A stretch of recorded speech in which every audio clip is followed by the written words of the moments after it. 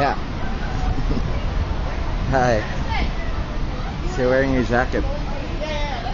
Masayang-masaya ngayon ang puso ng aktor na si Paolo Avellino nang finally matapos ang mahabang panahon ng pagkakalayo nila ng anak niyang si Aki ay nagkita na rin silang mag-ama.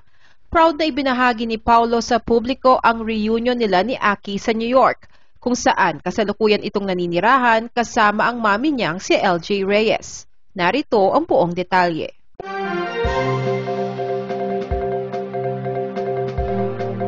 Tinupad ng kapamilya actor na si Paolo Avellino ang pangakong bibisitahin ang anak na si Aki nang lumipad ito patungong United States para sa isang concert tour kasama sina Ogie Alcacid at Janine Gutierrez.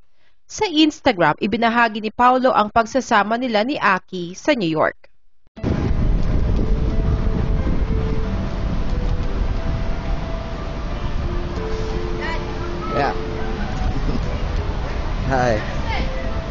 You're wearing your jacket. Bye bye.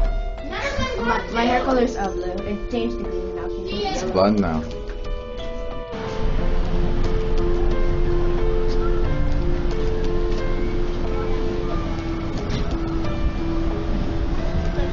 Sa mga videong ibinahagi ni Paulo sa publiko ay ramdam ng netizens na bagaman hindi nagkakasama ng regular, sina Paulo at Aki ay buo pa rin ang emotional relationship nila bilang mag-ama.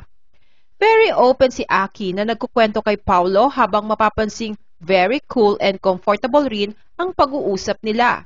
Tila ay walang barrier na pumapagitan sa kanilang relasyon bilang mag-ama. Kwento ni Paulo sa nakarang interview na ipinaalam niya sa ex-partner niyang si LJ Reyes ang napipintong pagbisita niya kay Aki sa New York. Wala naman umanong problema iyon kay LJ. Inalam lang nito kung ano-ano ang mga petsa ng gagawin niyang pagbisita sa kanila. Dagdag pa ni Paulo, matagal na nang huli silang magkitang mag-ama. Mula pa raw ito noong umalis si na LJ papuntang Amerika.